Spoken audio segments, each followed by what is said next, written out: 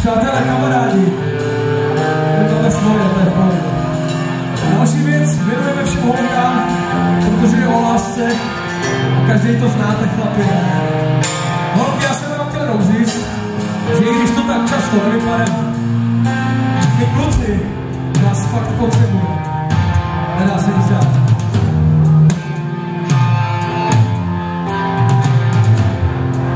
Takže klíč k srdci